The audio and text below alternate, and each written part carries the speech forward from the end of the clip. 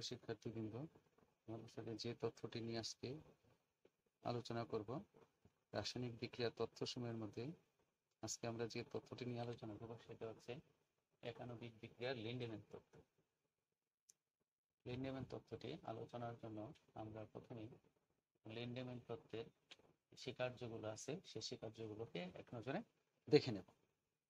প্রথমে যে স্বীকার্যটি আছে, সেই স্বীকার্যটি হচ্ছে আমাদের অণুগুলো সক্রিয়তা সংক্রান্ত স্বীকার্য এখানেও আমরা বলছি যে লিন্ডেম্যান তত্ত্ব অনুযায়ী অণুসমূহ যারা বিক্রিয়া অংশগ্রহণ করবে, তারা পারস্পরিক সংঘর্ষের মাধ্যমে সক্রিয়তা লাভ করবে। এই সক্রিয়তা লাভের ফলে যে শক্তি তারা অর্জন করবে, এই শক্তিটাকে তারা কোথায় ব্যবহার করবে?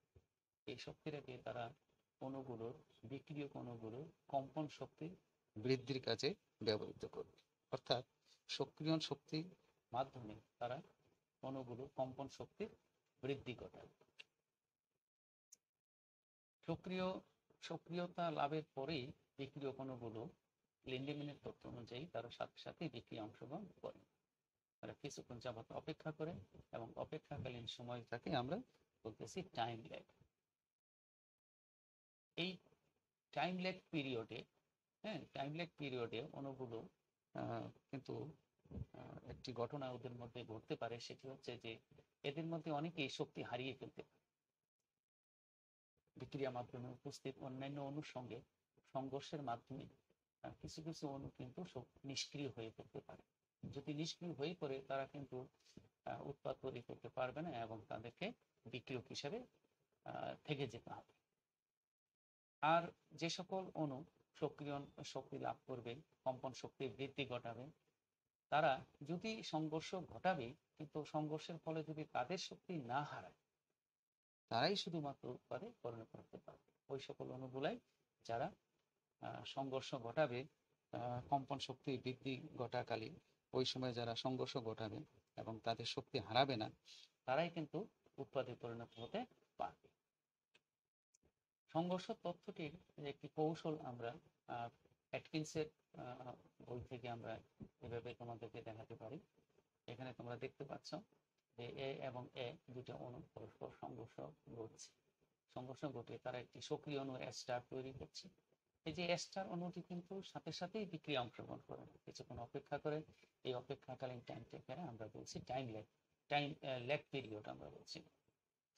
এই সক্রিয় অণুটি সংঘর্ষ ঘটানোর পরে যদি তার নিজের শক্তি হারিয়ে ফেলে, তাহলে তাকে কিন্তু পুনরায় আবার বিক্রিয়ক হিসেবে থেকে যেতে হবে।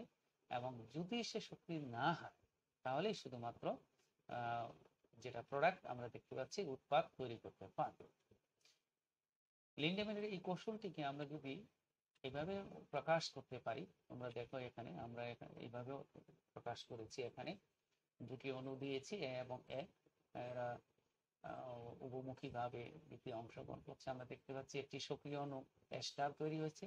এখানে কে ওয়ান হচ্ছে সক্রিয়ত হওয়ার যে বিক্রিয়া তার হার ধ্রুবক এবং কে মাইনাস ওয়ান হচ্ছে স্টার যখন নিষ্ক্রিয় হয়ে পড়বে সংঘর্ষের মাধ্যমে শক্তি হারিয়ে, সেই বিক্রিয়ার হার ধ্রুবক হচ্ছে কে মাইনাস ওয়ান অর্থাৎ কে মাইনাস ওয়ান হচ্ছে নিষ্ক্রিয় বিক্রিয়ার হার ধ্রুবক। অন্যদিকে কে টু হচ্ছে এখানে সক্রিয় অণু এ স্টার এটা যখন সংঘর্ষ ঘটাবে, কম্পন শক্তি বৃদ্ধি ঘটাবে, কিন্তু শক্তি হারাবে না। সেই ক্ষেত্রে সে যখন উৎপাদে পরিণত হবে, সেই উৎপাদ তৈরির বিক্রিয়ার হার ধ্রুবক হচ্ছে কে টু আমরা তোমাদেরকে এটা এইভাবে দেখাতে পারি যে এখানে আমরা দেখতে পাচ্ছি সক্রিয়নের হার আমাদের যে হার ধ্রুবক ছিল কে ওয়ান। এখানে দুটো, দুটি অণু উপস্থিত ছিল, এ এবং এ এই জন্য আমরা লিখেছি সক্রিয়নের হার সমান আমরা লিখেছি K one star. K one square এবং নিষ্ক্রিয়নের হারের ক্ষেত্রে আমরা লিখেছি কে মাইনাস ওয়ান স্টার এর ঘনমাত্রা এবং ইন্টু দিছি আমরা এর ঘনমাত্রা। এবং পাশাপাশি দেখো, এখানে উৎপাদ তৈরির হারও আমরা কিন্তু লিখেছি এবং সেখানে আমাদের হার ধ্রুবক ছিল কে টু এবং আমরা সেটা উৎপাদ তৈরির হার শুধুমাত্র কিন্তু সক্রিয় অণুর ঘনমাত্রার উপরে নির্ভর করতেছে। কারণ সক্রিয় অণুগুলোই কম্পন শক্তির বৃদ্ধি ঘটাতে পারে, সক্রিয়, জটিল যেটা গঠিত হয়, তার কম্পনের বিস্তার যদি বেশি হয় তাহলে কিন্তু সে উৎপাদে পরিণত হতে পারে। এই জন্য আমরা বলছি যে এখানে উৎপাদ তৈরির হার শুধুমাত্র সক্রিয় অণু এ স্টার এর ঘনমাত্রার উপরেই নির্ভর করবে। আমরা এই জিনিসটাও জানি যে যেটা সক্রিয় অ- অণু আমরা তৈরি করেছি, যেটাকে আমরা বলছি এটা উৎপাদও নয় এবং এটা বিক্রিয়কও নয়, এটা একটি মধ্যবর্তী পদার্থ। এই মধ্যবর্তী পদার্থের ঘনমাত্রা এত কম থাকে যে সময়ের সাথে সময় যতই হোক পরিবর্তন করি না কেন, আমরা তার ঘনমাত্রা তেমন কোনো পরিবর্তন ঘটে না। এই ব্যাপারটি আমরা কিন্তু কোথায় থেকে পেয়েছি? এটা আমরা পেয়েছি স্টেডি স্টেট প্রিন্সিপাল থেকে আমরা পেয়েছি। সেখানে বলা হয়েছে যে মধ্যবর্তী যে পদার্থগুলো তৈরি হয়, তাদের তৈরি হওয়ার হার হচ্ছে শূন্য। সুতরাং আমরা যদি সক্রিয় সক্রিয় যে অণুটি আমাদের আছে অ্যাশটা, তার ঘনমাত্রা যদি নির্ণয় করতে চাই, তাহলে তাকে আমরা এইভাবে লিখতে পারি D A star by T সমান K one A square minus K minus one A star into A minus K two A star এখান থেকে আমরা ক্যালকুলেশন করব।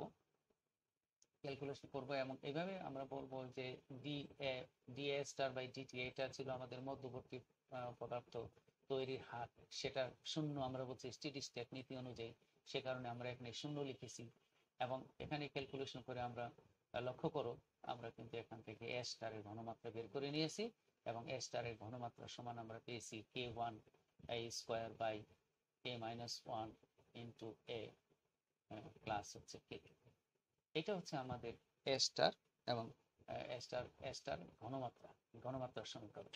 আমরা বিক্রিয়ার হার যদি আমরা নির্ণয় করতে চাই, তাহলে আমরা এটাও জানি যে বিক্রিয়ার হার সক্রিয় জটিলের ঘনমাত্রা সমানুপাতিক। সুতরাং আমরা এখানে লিখেছি বিক্রিয়ার হার সমান কে টু স্টারের ঘনমাত্রা দিয়েছি এবং আমরা স্টারের ঘনমাত্রা আগে বের করে রেখেছি। সেই মানগুলো যদি আমরা এখানে ইনপুট করি, তাহলে বিক্রিয়ার হার সমান আমাদের দাঁড়াচ্ছে K two K one A square by হচ্ছে K minus one into A plus K two এটা হচ্ছে আমাদের এটাই কিন্তু আমরা এখানে বলতে পারি যে তথ্য অনুযায়ী একানবিক বিক্রিয়ার বিক্রিয়ার হারের সমীকরণ। বিক্রিয়ার হার সমীকরণ আমরা এটা লিখতে পারি।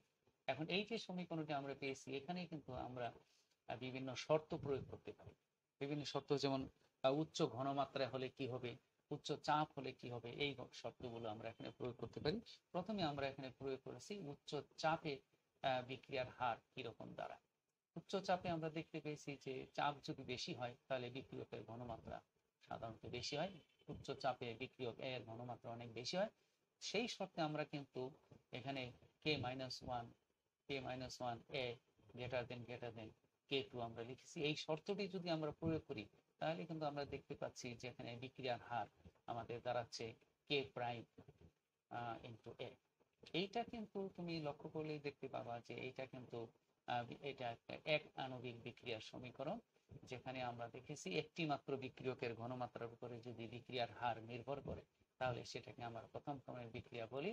সুতরাং আমরা বলতে পারি যে উচ্চ চাপে একাণবিক বিক্রিয়া আহ, লিন্ডেম্যানের ধারণা অনুযায়ী প্রথম ক্রম গতিধারা অনুসরণ করে এখন আমরা যেটা দেখব, সেখানে আমরা দেখব যে নিম্নচাপ প্রয়োগ করলে কি ফলাফলটি দাঁড়ায়।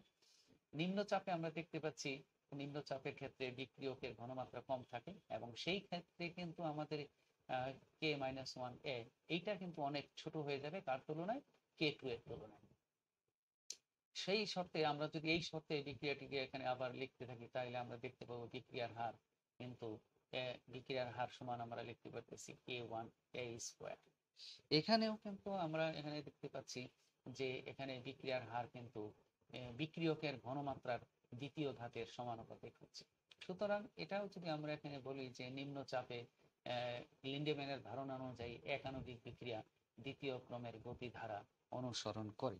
সুতরাং আমরা কিন্তু এখান থেকে আহ, লিন্ডেম্যানের কৌশলটা ব্যাখ্যা করতে পারলাম। লিন্ডেম্যানের একানবিক কৌশল অনুযায়ী কীভাবে বিক্রিয়া সংঘটিত হয় এবং হারের সমীকরণটি কিরূপ হয় এবং তোমার উচ্চ চাপে সমীকরণটি গতি কত ক্রমের ধারা অনুসরণ করে এবং নিম্ন চাপে বিক্রিয়াটির গতি কত ধারা অনুসরণ করে কি ধরনের বিক্রিয়া অনুসরণ করে সেটা আমরা এখানে আলোচনা করলাম। সুতরাং এই বিষয়টি আশা করি তোমরা বুঝতে পারছ। আজকে আমরা এখানে শেষ করব। সবাই ভালো থাকা আল্লাহ হাফেজ।